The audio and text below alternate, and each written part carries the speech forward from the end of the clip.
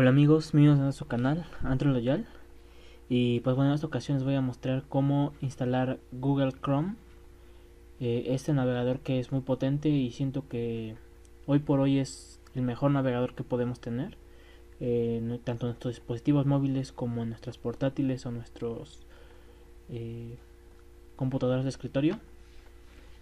Un poco más por encima de Firefox pero bueno eh, les voy a enseñar cómo, enseñar cómo tener una instalación totalmente limpia, así como a optimizarlo y que nuestro Google Chrome vaya eh, a una velocidad mucho más rápida y no se nos estropee por mucho tiempo o nunca.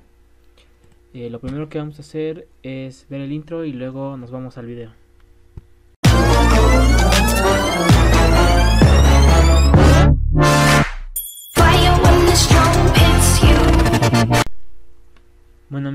Ya estamos aquí en la página de Google Chrome. Lo primero que vamos a hacer es descargarlo. Vamos a darle a aceptar e instalar y en guardar. En lo que se guarda se descarga, bueno ya terminó de descargarse. Eh, vamos a cerrar esto, ya no lo necesitamos. Y vamos a ir a nuestras descargas. Aquí. Eh, vamos a darle ejecutar como administrador. ¿Sí? Y vamos a instalarlo normal. En lo que se instala, eh, les quiero decir que voy a crear esta sección acerca de, de cómo tener un Windows totalmente limpio y optimizado. Eh, muchas recomendaciones para sus dispositivos portátiles o para sus dispositivos de mesa. Hablo de computadoras o laptops y todo eso. Eh, ya que por que a lo largo de este tiempo que he estado ocupando mucho la computadora eh, me he notado que a veces se me va muy lenta pero con modificaciones que le he estado haciendo la verdad va muy bien eh, antes yo te recomendaría que antes de que instales Chrome o cosas así si tu computadora va muy lenta aquí abajo en la descripción te voy a dejar un link directo a otro vídeo que hago donde te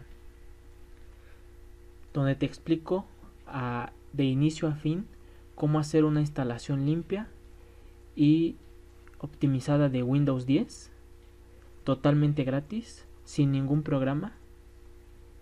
Y bueno acá abajo te voy a dejar el link para que le eches un vistazo si te interesa o algo así.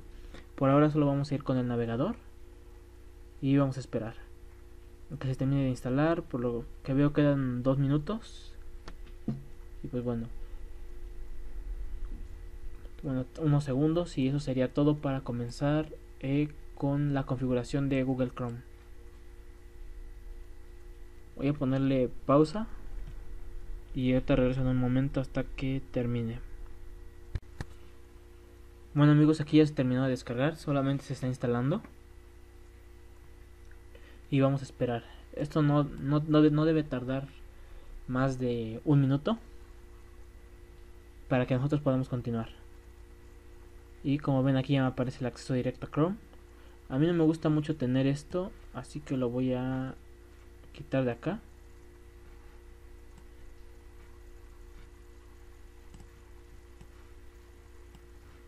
A mí me gusta más tenerlo anclado a esta parte.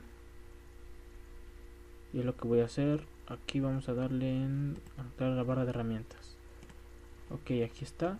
Ustedes pueden acceder a Google Chrome eh, yo lo voy a hacer y ya estaré quitando aquí algunos datos porque accedo con mi cuenta personal.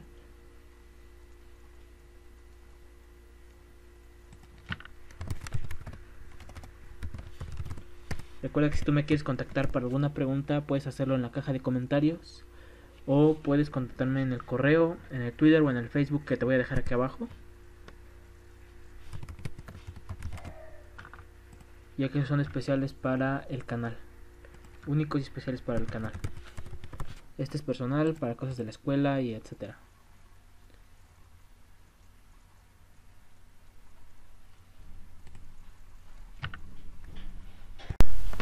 Bueno amigos, disculpa, tuve que cortar ya que alguien llegó a mi casa y no quería que haya ruido durante el video. Pero bueno, una vez que ya está terminado de instalar, se nos va a abrir esta parte. Y lo que hay que hacer es poner aquí Chrome y vamos a irnos a los settings.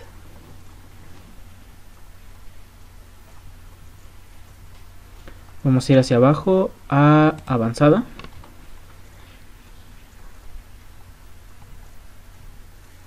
Y aquí vamos a buscar estos dos en donde dice sistema. Aquí esto es muy importante que lo hagan. Dice seguir ejecutando aplicaciones en segundo plano al cerrar Chrome esto lo vamos a desactivar ¿por qué? porque digamos que tú estás trabajando en Facebook o en línea estás editando un documento o incluso estás viendo un video y etcétera y cuando tú le das aquí en cerrar eh, lo que hace es ya sea esas páginas, siguen consumiendo recursos del navegador. Y eso hace que nuestras páginas se vayan mal, que nuestro navegador se vaya alentando poco a poco.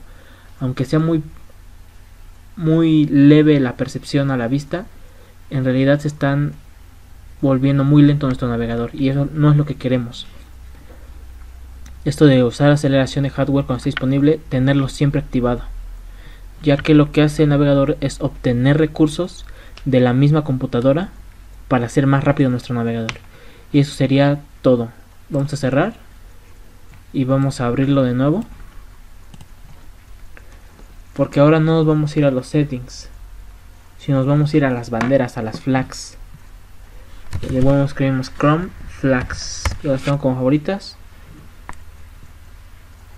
Eh, esto lo que vamos a hacer o lo que estamos haciendo no lo he probado en un navegador en mi dispositivo móvil si ustedes lo quieren intentar, podrían dejar acá abajo en los comentarios si les funcionó, si no les funcionó, etcétera. Pero yo les les afirmo al 100% que en el navegador de sus laptops o de sus dispositivos de escritorio les va a funcionar al 100%.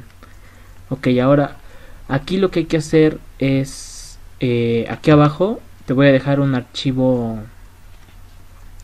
de TXT, de texto, para que tú te lo descargues y puedas hacer lo que yo voy a hacer a continuación. Te voy a mostrar unas pocas, no todas. Esto lo tienes que hacer uno por uno. Por ejemplo, te voy a escribir paso 1, eh, desactivar o activar esto. Y una vez que lo hagas, vas a cerrar el navegador. Por ejemplo, uno de los que vamos a hacer es Override Software Rendering List. Esto lo vamos a poner como habilitado, enable, y vamos a dar reiniciar ahora. Lo que hace reiniciar el navegador y aplica la configuración que acabamos de hacer. Eh, es importante que no muevas más de lo que te voy a dejar aquí en la tabla porque te puedes echar a perder todo tu navegador. No hablo de tu laptop ni nada de eso, sino del navegador lo vas a echar a perder. Eh, si ya te equivocaste en algo, puedes darle aquí en Reset All to Default y va a comenzar desde cero y tienes que volver a hacerlo desde los settings y luego pasar a esta parte. Eh, después otro que podemos hacer es el Fast Tab. Eh, pero yo creo que con este que te estoy mostrando es más que suficiente. Eh, aquí abajo te voy a dejar la tabla, recuerda. Es este, otro lo tenemos que tener habilitado. Enable.